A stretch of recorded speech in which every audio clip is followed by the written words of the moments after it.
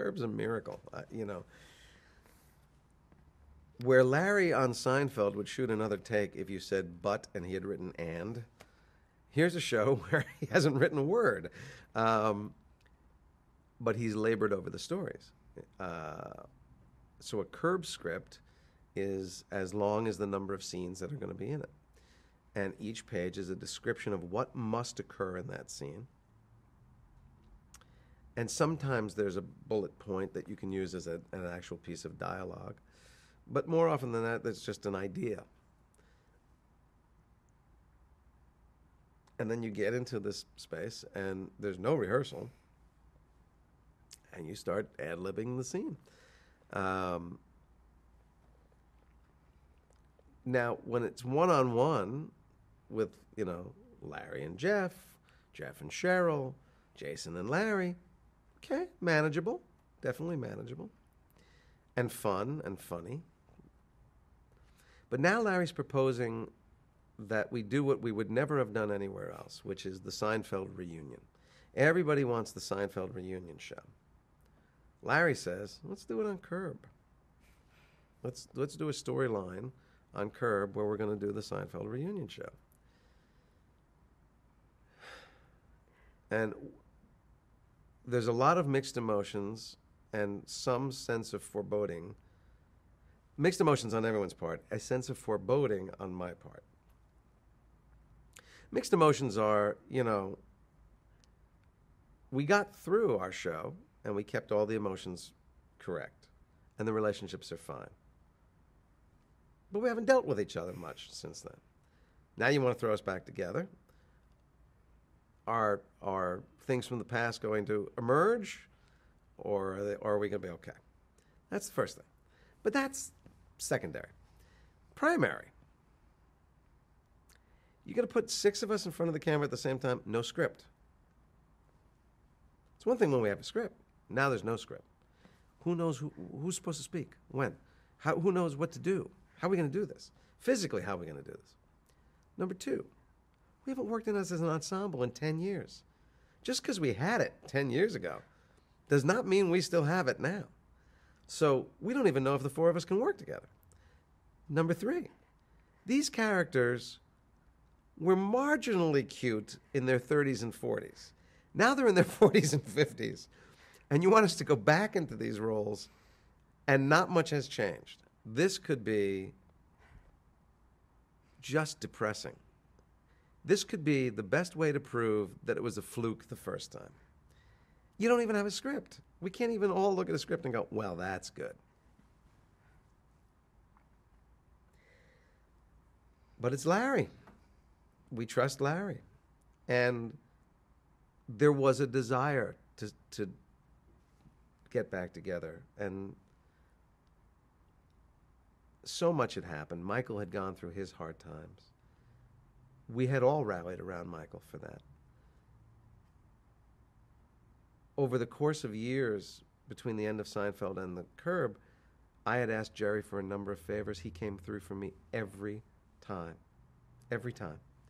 Um, and I knew that Jerry probably didn't understand. I hope he does now that despite our disagreements about things, my affection for him is consummate.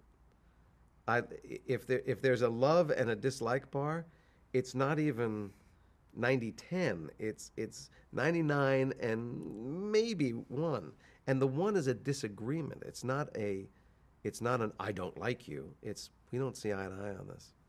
Um,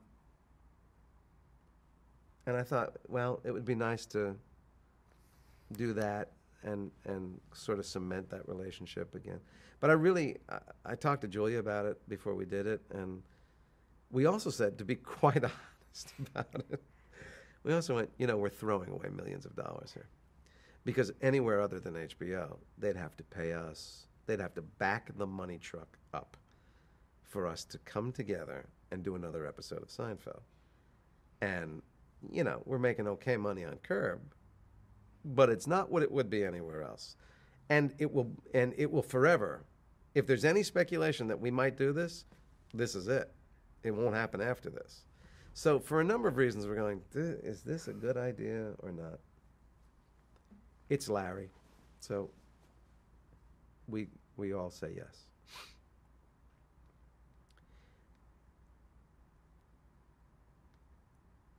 The first thing we shot for that reunion was the table read of the reunion episode. So we went back to stage nine on the Radford lot where we had spent all those years. And there's Monk's Diner. And there's the apartment. And there's the tables, just the way we used to do. Now, no audience member would know this. There's people that you need to see there around that table. But the people that would have been around that table in 1998, 1997 were around that table again. Our crew, our Castle Rock reps, our NBC reps, the people that we knew would be at that table were at that table. And we are back. We're, we're, it's like we stepped through a wormhole and we are 10 years back in time. And it was the most surreal. And that's all we could do is just look at each other and go, this is unbelievable.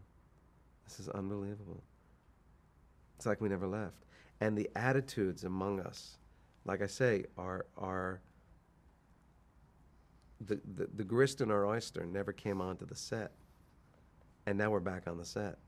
And all the attitudes and all the interplay and all the characteristics of our relationship when the four of us or five of us got together to play and make funny had it, it, it was like it was five minutes ago. And it was for me um, an incredibly healing lovely wonderful experience. Um, and then and then st- stupid crazy things happened like um, the day that where I really went, okay, we're in Wonderland now. So the storyline is that Jason, TV Jason, quits the Seinfeld reunion. And Larry says, I can play George. I am George. I'll play George. And they give him a shot, and then we shoot a reunion Seinfeld scene with Larry as George. The day they're shooting that, I'm not on the set. They don't need me. I get a call at nine o'clock in the morning from Larry David, frantic, going, "You have to come down.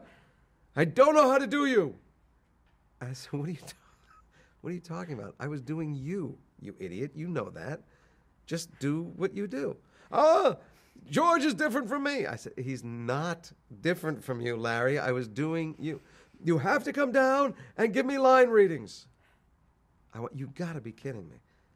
And I went down. and I'm giving Larry David line readings as George, who is Larry David. I mean, really, we were in we were in Wonderland that day, and it was fantastic. And I'm just looking at him, going, "You're an idiot. you are an idiot. I don't know what I'm doing here. You are." And, and then he would argue with me about the line reading, and I go, "You told me you want to know how I would do it," and then he's arguing with me about it. that's not the way to do it. In Larry's head, Jason this curb Jason, is a mirror reflection of Larry. He uses Jason as the one person who Larry can't win an argument with. So he uses Jason as George almost, as if it's matter and antimatter Larrys meeting each other and they cancel each other out. That's how he uses me. Um, you know, it's it's. I would hope it's not me. I don't think I would borrow a pen and shove it up my own butt and then hand it back to a guy. I think I'm a little beyond that.